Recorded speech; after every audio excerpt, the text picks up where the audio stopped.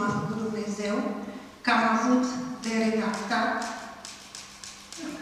Prima mea carte a fost un fel de atrage joc și am avut de redactat ca redactor doar cărți despre trecutul recent, ceea ce spun că mă îndreptățește să vorbesc cu cercetători și cu editori uh, și cu istorici tineri, împărtășindu-le și ajutându-i, poate, să-și îmbunătățească acest tip de activitate care nu este ușor, care cere discernământ, care cere empatie,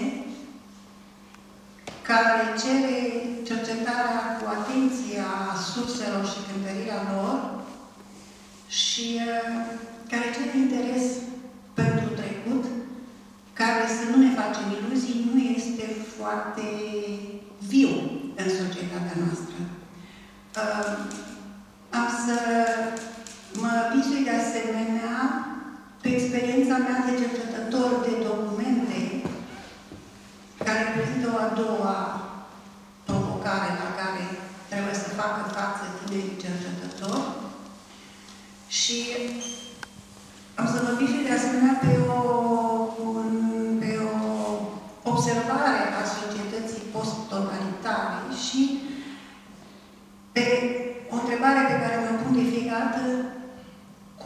facem să-i facem decât să ne văicărim că societatea noastră este așa cum este, cum facem să o schimbăm, prin ce mijloace o putem schimba, nici într-un caz înjurând-o și văicărindu-ne.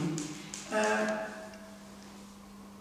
o putem schimba cu, în, în proporții mici, dar sigure, întrebându-ne fiecare dintre noi ce putem face, pentru că comparativ cu societatea precedentă, avem imensa libertate de a face absolut tot ce vrem. Deci, în acest absolut tot ce vrem, intră și să scriem despre trecutul recent și să participăm la cunoașterea lui prin toate mijloacele.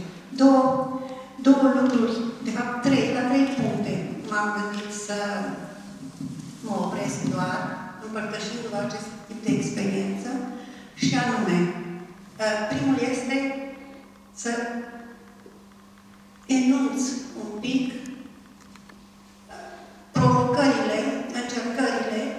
și experiențele prin care femeile, cărora femeile au trebuit să le facă față în regimul comunist. Ieri o prietenă mi-a trăgea atenția și astăzi ceea ce spun aici, ce spune domnul Șandu și ce a spus, toată ce, ce, ce a spus uh, și colegul nostru, mă duce într-adevăr la concluzia că prin asta mi-a făcut o observație, mi-a făcut o observație, mi-a făcut o remarcă foarte uh, pertinentă și valabilă. Toată lumea care a trecut prin comunism a fost afectată de această trecere prin comunism. Toată lumea. Comunismul ne-a modelat, ne-a modificat și ne-a traumatizat. Este, este spectrul acesta foarte larg de care trebuie să ținem seama, arcul acesta de cerc, de la simplă modificare până la traumatizare, care presupune grade de diferite, grade de suferință și gradul maxim de suferință este cuprins, ce coincidență frumoasă, este cuprins în această carte. Da? Gradul maxim de suferință este detenția politică și urmările ei și asupra celei, acelei femei care a îndurat-o, dar ea s-a răspând și asupra întregii sale familii, inclusiv uh, nepoții, da? S-a răsfrânt asupra copiilor, s-a răsfrânt asupra soților, s-a răsfrânt asupra părinților, s-a răsfrânt asupra urmașilor, în grade diferite asupra fiecăruia. Dar dacă pe personajul principal, pe, pe femeia din această cuprinsă în, în dicționarul detenției politice feminine românești, titlul este Morfologia neparanteză vinovăției, pe, pe restul pe pe restul casei și familiei a, a modificat, a, a afectat-o în, într-un alt fel și noi când cercetăm trecutul, trebuie să ajungem să deschidem uh, să deschidem spectrul acesta al cercetării și către ceva care l-aș putea numi cotidianul benign din vremea comunismului. Pentru că dacă n-am murit toți, înseamnă că într-un fel sau altul am reușit să trăim acest cotidian, fiecare în felul nostru și nu numai în, în, în formele lui cele mai traumatizante și cele mai uh, acute. Uh, deci, cunosc puține cărți despre cotidianul carceral și despre cotidia și viața cotidiană în comunism și cred că uh, este timpul după 33 de ani să încercăm să vedem și asta, pentru că timpul trece și nu vor mai fi nici măcar acei martori, și pentru că am convingerea că o, una dintre modalitățile de a duce societatea noastră la o reconciliere cu ea însăși și cu trecutul și cu ceea ce numim victime, călăi și nici victime, nici călăi, nu se poate face decât asimilând și metabolizând și acest trecut între ghilimele normal. Deci, cred că a trecut faza teorică și militantă a cercetării trecutului comunist și trebuie să-l cercetăm și să-l admitem așa cum a fost el, cu modelare, modificare, traumă. Asta este, cred, marea provocare a studierii trecutului în acest, în acest moment. Am prefațat cartea acestor uh, cercetători. Uh, felicit Institutul că a ridicat bariera și terminată fiind de câțiva ani, a publicat-o. Se adaugă unei bibliografii extrem, extrem de, de importante de la care poate să rămână tot. Al doilea punct pe care aș vrea să îl uh, ating aici, pentru ca să las loc pentru dezbateri, ar fi provocările pe care le ridică experiența cercetării arhivelor. Și aceste provocări sunt chiar mai mari decât acelea ale cercetării ca atare prin, prin toate, de, uh, uh, beneficiind de toate sursele, inclusiv de cele scrise de alți cercetători în ăștia 30 de ani. Uh, și am să le enunț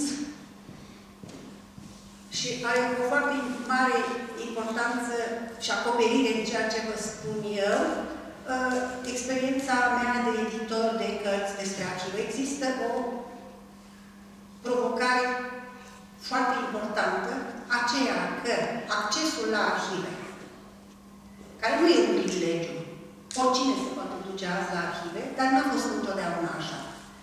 Pe de o parte. Pe de altă parte, cine se duce la arhivă știe, arhive știe că nu se înghesuie lumea acolo de de cercetării, ci fiecare pentru că are un anume uh, interes în cunoașterea, și asta e extraordinar de bine, trecutului propriei familii și al lui propriu, ceea ce nu este rău, dar asta nu înseamnă cercetare și nu duce neapărat la scrierea unei lucrări de interes public decât dacă respectivul om are o anumită experiență în sensul ăsta.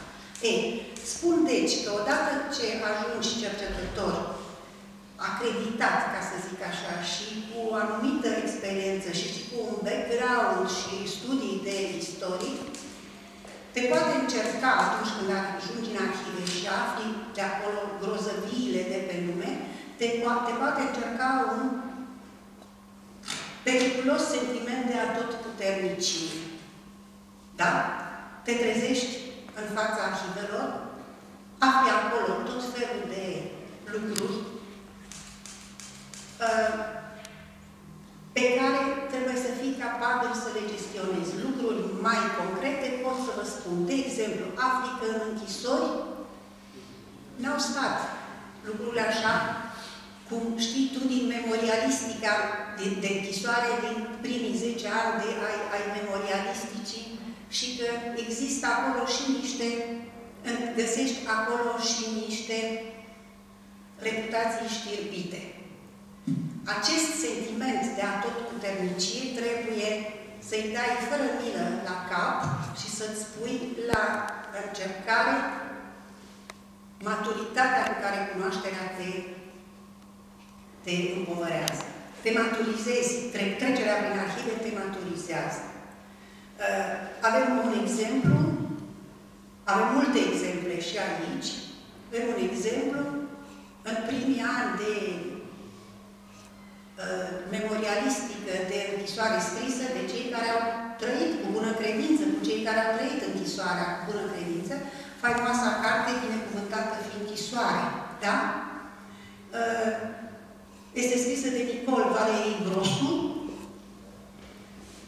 Este o carte minunată. S-a făcut un film despre ea. Cercetătorii ulteriori au găsit acolo documente care atestă că Nicol Valerii Grosu a devenit până la urmă informatoarea securității. Această descoperire care te poate pe tine uh, destabiliza pe tine ca tânăr și cercetător și dornic să te, să te duci la arhive pentru ca să descoperi acolo modele. Acolo nu descoperi modele neapărat, acolo descoperi oameni.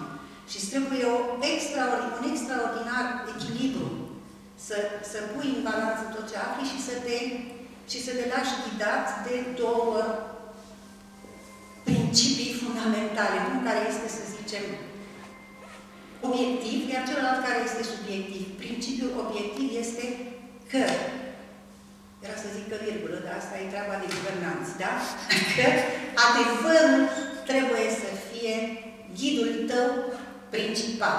Adevărul și numai adevărul. Eu însă am trecut, nu chiar la începutul uh, activității mele de cercetătoare, până la jumătatea ei, am scris biografia unui personaj pe care l-am admirat extraordinar de mult, care este marele, marele coreograf Oleg Danovski. I-a promis că o scriu când încă nu murise, au trecut 10 ani, soția lui care era bolnavă mi-a spus într-o zi, ai promis lui Oleg, n-ai terminat biografia aia, o să mor și eu și mai să o termin și atunci m-am mobilizat și mi-am luat inima în dis și m-am dus în arhive. Da. Și am găsit acolo un... Știam că nu i s-a dat drumul în străinătate, știam că știam că îi fugeau, îi plecau în fiecare turneu cu tasatorii și nu mai știu ce, dar am găsit acolo un moment în care plecarea în străinătate i s-a deblocat. Și am găsit un documentel în care securistul care venea nesmintit la, poate când eram și eu acolo, da? Înainte de 89, venea nesmintit la repetițiile lui, pentru că există și securiști, bine știți, iubitori de artă și de așa, și dornici să apară în fotografii lângă. Și mă guream am să o cunoască pe Monica Luminescu, dacă vreți să știți. Și Pacepa a vrut să-i strângă mâna și să o felicite că n-a omorât-o atunci și să se laude că n-a omorât-o atunci când i-a trimis palestinienii. Deci, uh, cum se spune, uh, ipocrizia este omagiul pe care viciul îl aduce virtuții. Viciul are și el dreptul să se să stea puțin în vecinătatea virtuții, dar se poate uita și în oglindă. Bun, am găsit această hârtie în care un uh, securist, colonel de la Constanța, eu sunt tot de la Constanța, spunea, dați-i drumul, spunea serviciului de pașapoarte, dați-i drumul să plece, că l-am recrutat eu. Vă dați seama că i s-a tăiat picioarele uh, și am zis, ok, nu mai scriu această biografie. Eu, Oleg Danovski era acolo, foarte sus pentru mine, iar motorul scrierii acestei cărți era această admirație. Noi femeile scriem din admirație. Da? Știți bine chestia asta. Da. Și eram gata, gata să opresc povestea asta.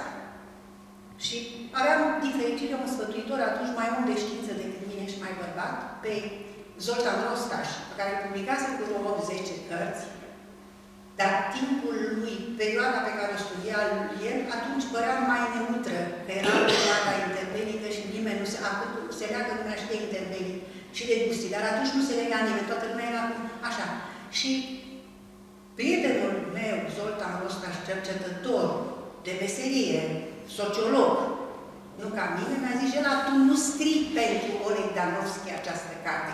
Tu scrii pentru reputația ta de cercetător. Nu băga chestia aia sub povor, că vine cineva după tine și s-a dus naibilor toată, toată.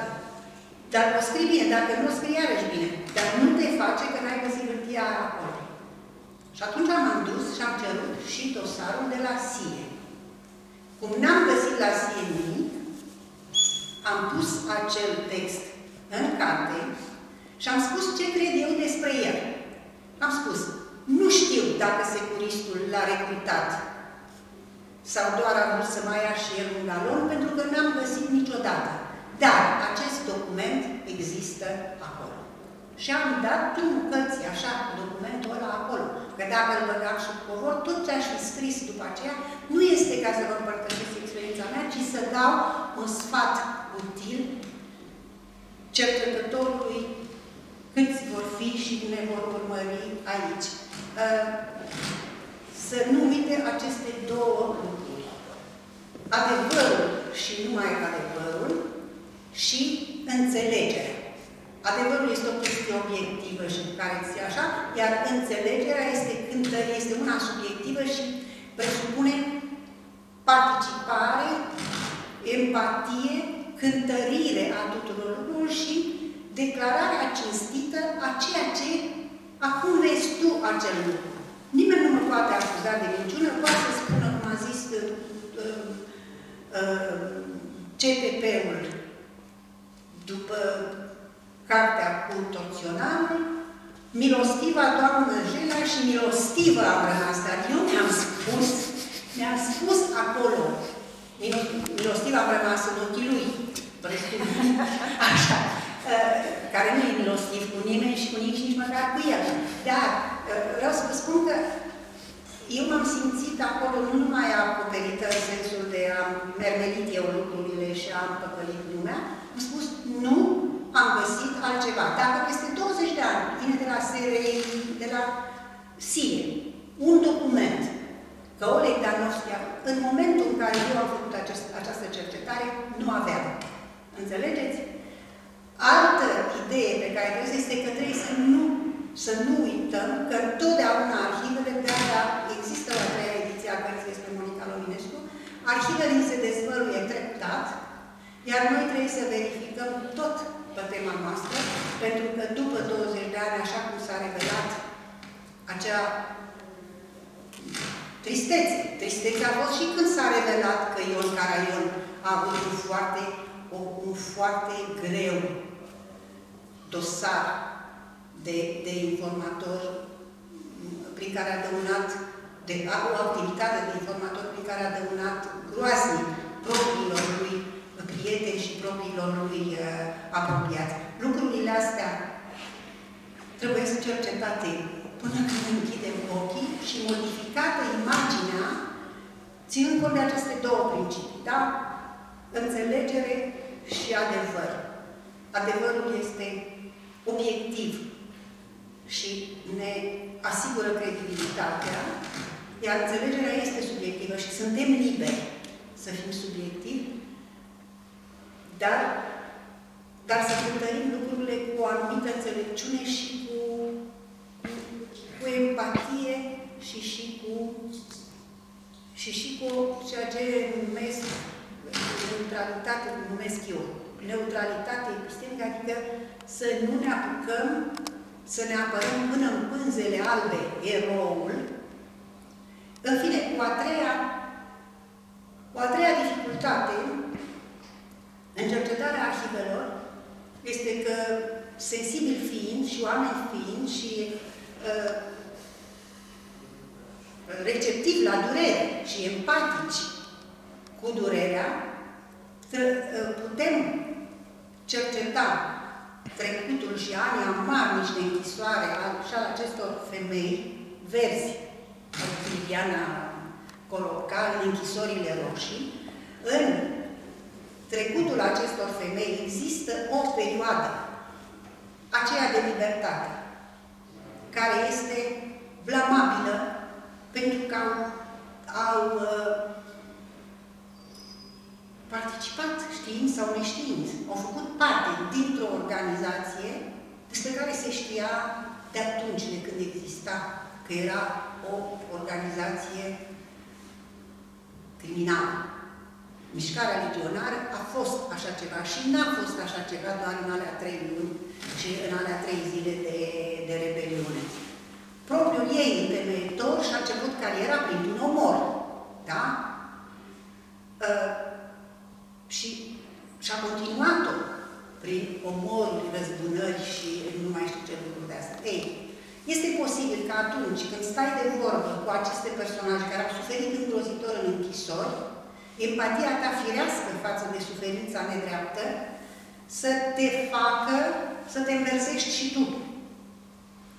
În primii mei ani de, de muncă de redactor, m-am trezit cu cercetători care au scris cărți despre, au, au cunoscut, ca și mine, foști legionari, care ieșiseră în închisoare, care ieșiseră din închisoare cu credința și mai consolidată. Pentru că așa e firesc. Dacă faci 20 de ani de închisoare pentru trecutul tău, acea pedeapsă îți, îți întărește, îi dă preț trecutului ăla. Nu-l desfințează. Ceea ce îl poate desfința ar fi o căință în condiții de, în condiții de libertate, nu de nu de, după ce te-au chinuit îngrozitor și ai trecut prin fenomenul Pitești, ești de acolo spunând, am suferit, dar credința mea a meritat să sufăr. Deci, suferința aia îți consolidează credința. Rar e cineva care să spună, domnule, am făcut 20 de ani de pușcărie pentru că am fost prost. Nu poți să spui chestia asta, fiindcă m-am lăsat manipulat. Sunt 20 de ani din viața ta. Deci, cercetătorul însă este dator să cântărească în așa fel încât să fie empatic cu suferința din pușcărie care este nedreaptă. Oricând este nedreaptă, detenția este ea însă și o pedeapsă. Nu e nevoie să se treacă prin pitești. Așa. Și credința pentru care respectiva uh, persoană a făcut anii aia de pușcărie. Personal am cunoscut o ființă absolut extraordinară, care a fost legionară și a fugit în 48 din România, absolut extraordinar, a trăit la 95 de ani cu cea mai bună prietenă Monica Iovinescu, care rămăsese cu această, să spun, nu Pașcu spune, da? Stefan Pascu spune că nu ai ce vorbi cu ei, este ca și cum ar avea credința, ideologia este un fel de tumor. Omul este, omul este normal din toate punctele de vedere și prin unele calități este extraordinar, dar în momentul în care vorbește despre așa cum dacă vorbești cu rușii, cât de cum se cade ar fi, dacă spui că Maica Rusie nu are dreptul să cucerească tot pământul, ai terminat-o cu orice rus, oricât ar fi de, de luminat.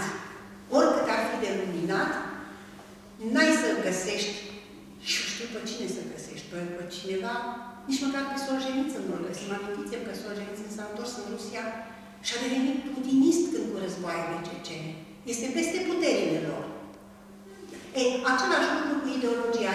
Ideologia rămâne înfiptă acolo în creierul tău, exact ca o, ca o, da, ca o tumoră. Și dacă nu te atingi de ea, funcționează omul cum nu se poate mai bine și chiar are calități extraordinare și ieșite din comun.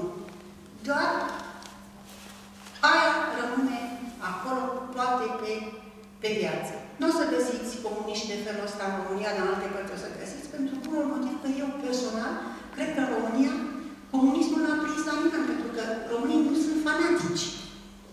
Românii n-au fanatisme de astea, n-au fanatisme de niciun fel. Românii sunt un popor sceptic și slavă Domnului că este așa, sceptic, echilibrat și care încearcă să se descurce în condițiile date, dar nu se agață de idei să moară pentru ele. Chiar și legionari au fost, cred, mai mult macedonii și mai mult de altă nație. Ea, dacă și-au dat cuvântul, mor cu cuvântul acela. Românul nu are cu cuvântul acolo acela dacă și l-a dat, că, că nu te poți spune, nu te duci în fața trenului. Nu, nu blamezi uh, uh, trăsătura aceasta națională, pentru că cred că grație ei și echilibrului ăsta, noi nu am avut nici ce a fost în Iugoslavia și nu avem nici ce a fost în Germania nazistă, totuși. Că nu toată lumea ca turma pentru că i s-a spus că e bun, că e, bun, e bun ce fac ei. Am terminat cu sfaturile, ca să zic așa, și vă cer iertare că vi le-am dat.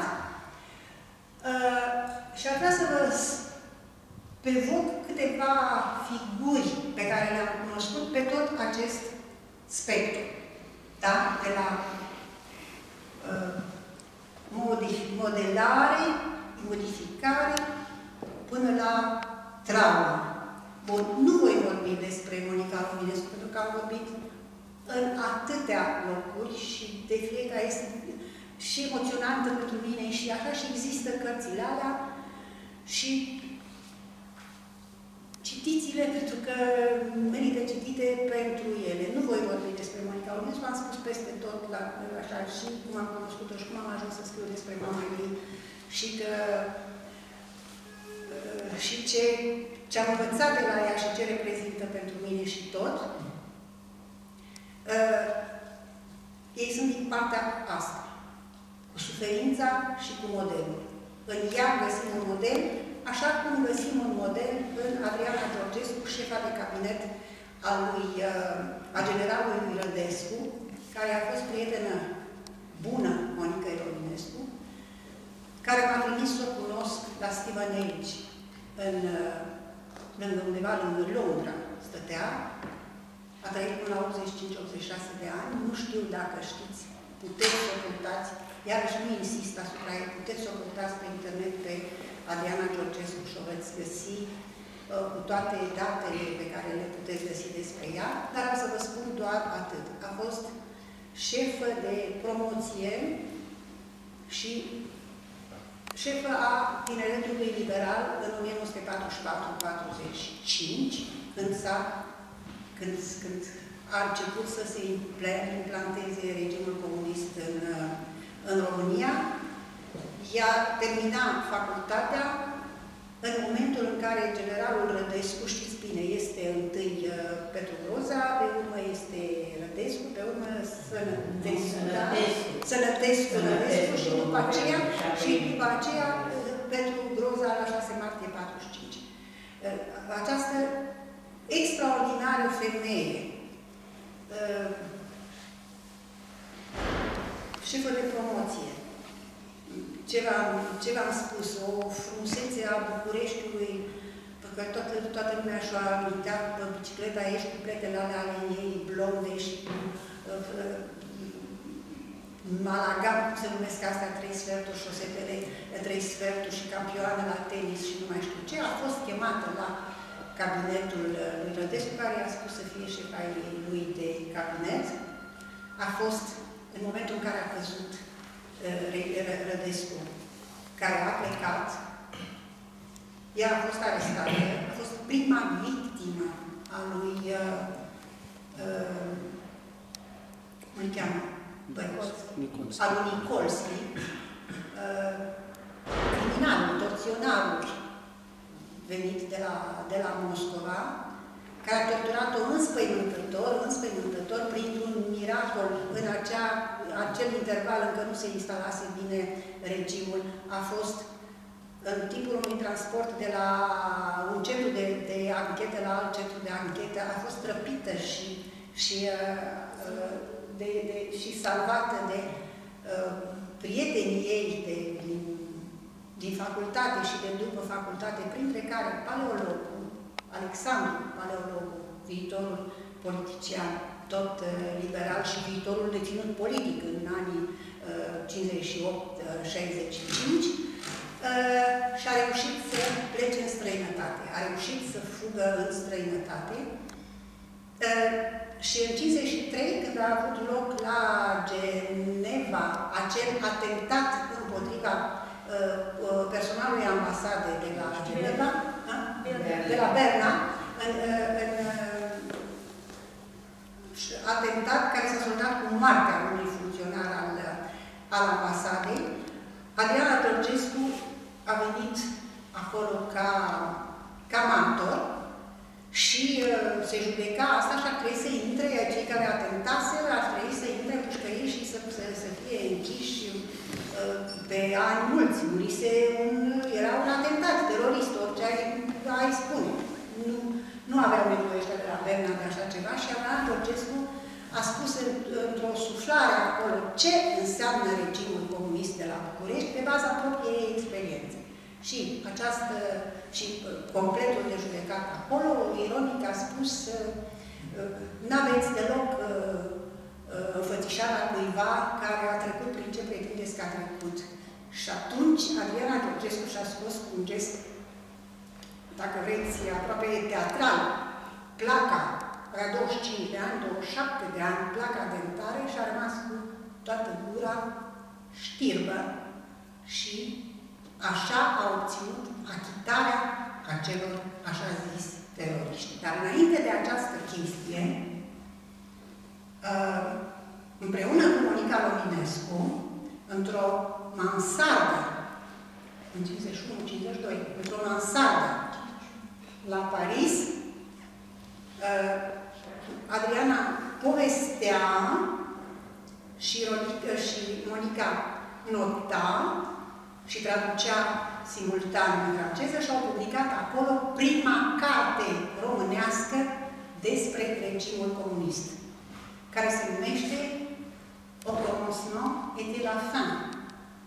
Sau imediat ce s-a publicat tirajul acela, ambasada României a cumpărat pe tot și nimeni n-a aflat de existența acestei cărți până în 1990, când ea s-a publicat la București, la început a fost sfârșitul. Așa. Ei, Monica Lovinescu m-a trimis să o cunosc pe femeia aceasta, punându-mi în vedere să nu-i pun întrebări despre perioada aia, pentru că de la plecarea din România, la un an dată sau la doi ani dată, Adriana Georgescu avea, altfel nu ți-ai dat seama, Adriana Georgescu avea episoade de asemenea întunecare. A minții, că stătea câteva luni în spital psihiatric în, cu, cu medicamente, cu multe medicamente, 5-6 luni și după aceea revenea. Și asta până la, până la 85 de ani când am uitat, avea 83 când am cunoscut-o eu. Și vreau să vă spun că era o ființă de o asemenea modestie, dar de o asemenea modestie și o asemenea căldură umană, că atunci, sigur că n-am întrebat-o. N-am întrebat-o, pentru că să nu am uitat la ea și am fotografiat și m-am uitat cu, cu doamne și am, mi-a povestit cu totul și totul alte uh, lucruri, cu, cu un atentat acolo la Londra în care a făcut-o bucăți. S-a urcat o rabă pe ea pe, pe trotuar după ea, bucăți și ea îmi spunea, atunci m-am măritat, pentru că, pentru că m-a văzut unul, numai, și mâinile, totul, toate, mâini, picioare, totul, totul, totul fusese în, în gips și face chestia asta de 6-7 luni. Ei, atâta mi-a povestit despre ea, ce succes a avut ea ca femeie după ce au încercat ea să o să o omoare prietenia ei cu Monica, lucruri de felul ăsta care să nu, o, să nu o necăjească, în așa fel încât avea doi prieteni, un, un homosexual de vreo 23 de ani, care era veșnic, veșnic, veșnic acolo și îi prepara frigiderul, îi, îi punea șuruburile alea așa și o femeie care a de tot vreo de vreo 30 de ani româncă, care i-a aducea de mâncare. Când ăștia au văzut, i-a dusesem o carte, când ăștia au văzut, i-a dusesem un exemplar din carte, ăștia au văzut, a întrebat, ești tu? Da, nici unul dintre ei și nimeni nu știa cine era Adriana Georgescu. N-a povestit nici măcar cum povestim la știți, nu știți cine sunt eu. Nu, nu, nu știa nimeni și nu din de, de secret, de, ci de o modestie. Asta este pe partea aceasta. Despre celelalte v-am spus, am scris în cărțile mele. Dar aș vrea să vorbesc puțin despre cealaltă parte a aspectului.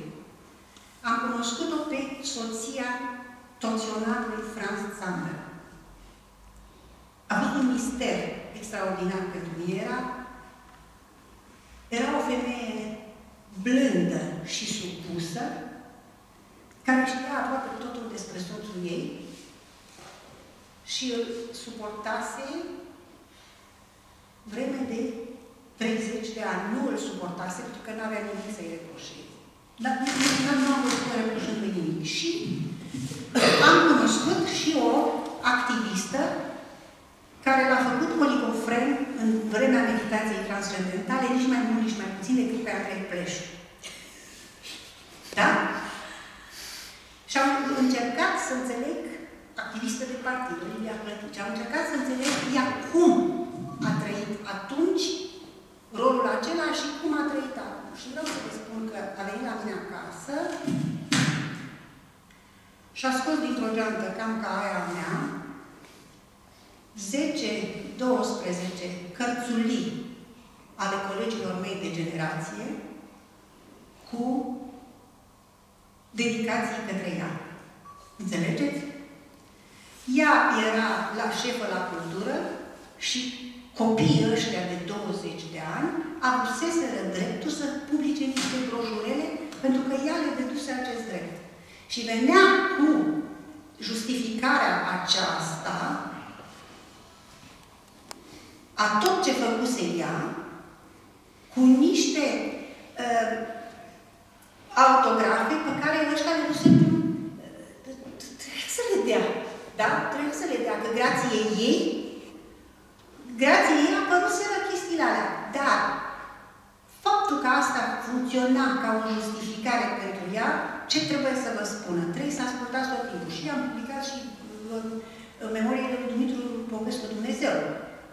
Important este să ascultați tot timpul și cealaltă parte, ca cercetători, pentru ca să vedeți cum se poate gândi și acolo. Pentru că altfel nu vom înțelege niciodată societatea asta, care este și nostalgică, și înverșunată, și blazată, și și eroică din când în când, dacă mai e. Vă mulțumesc și iertați-mă